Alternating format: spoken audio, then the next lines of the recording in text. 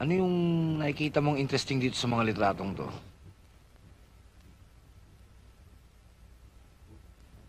Hagibis! Wag na wag kang mahihiya sa ak... Aray. Ayan, oh. Kasama ni Chief tsaka ni Colonel Gadjon. Sino yung taong yan? Sa lahat ng kuha, magkakasama sila, oh. Ah, tatay nila? Tama na yan! Reto! Tinutukan mo na rin ang serbisyo mo. Makakalis ka na. Good! Paril ko. Tsapa ko. Jet! Jet! Yan, tignan nyo. Yan, sir. Ganyan kawalan nga yung partner ko. Palibasa, kapos sa pinag-aralan. Biro nyo, pinagpalit yung trabaho. Sinuli yung baril. Sinuli yung tsapa. Sir, pakipantay lang, ha? Sir!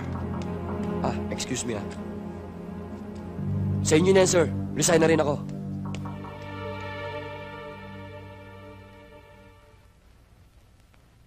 Jet, Jet. Butch, Butch. Bakit? Masama na naman yung gising mo, no? Hindi. Ano yung nakikita mong interesting dito sa mga litratong to?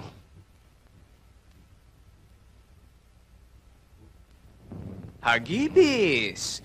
Wag na wag kang mahihiya sa ak... Aray. Ayan, oh. Kasama ni Chief tsaka ni Colonel Gadjon. Sino yung taong yan? Sa lahat ng kuha, magkakasama sila, oh. Ah, tatay nila? Anak, Seryoso muna tayo, ah.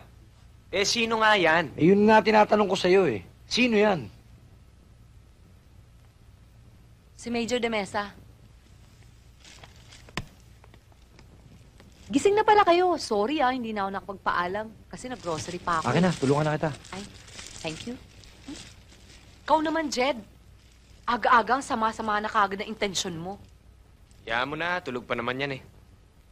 Ah, Angel, pwede mo bang paliwanag sa amin kung sino yung Major de Mesa na yan? Sino siya? Ano siya? Isa siyang sundalo. Pero yung sundalong totoong may malasakit sa bayan ah. Eh, kung ganun pala eh, paano siya na-involve kina Chief at saka kay Gadjon? Ay, magkakaibigan yung mga yun. Best friends baga. Kaya nga siguro, sumira si Major dun sa sinumpaan niyang tungkulin. Natatandaan niyo yung nangyari dun sa Pierre?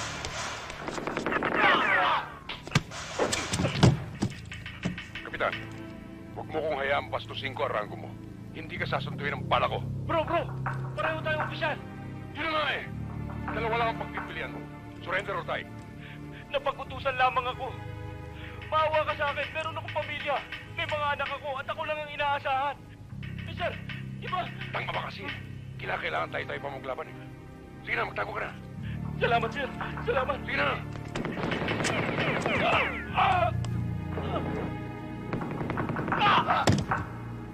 Katunayan, gumawa siya ng isang pagtatapat sa computer. Inamin niya ang kanyang partisipasyon dun sa nakawan sa Pierre. Dito nagsimula ang gulong to.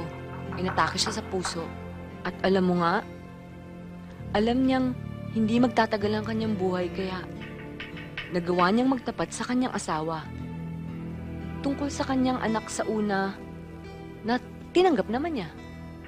At nung gabi yon, classmate, napasyal ka. Sorry, classmate. Classmate, okay na. Patay na sila lahat. Kami yung dalawang Jack na yan, no? hmm,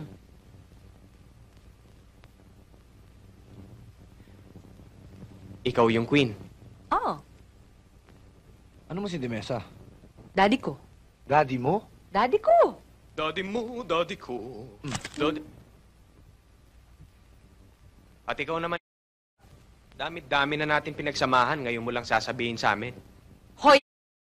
Nagtatanong ka ba? Actually, kaya ako nga kayo sinama dito eh. Dahil hihingi ako ng tulong sa inyo. Kasi ngayon, sigurado na akong mapagkakatiwalaan ko na yung mga mukha nyo.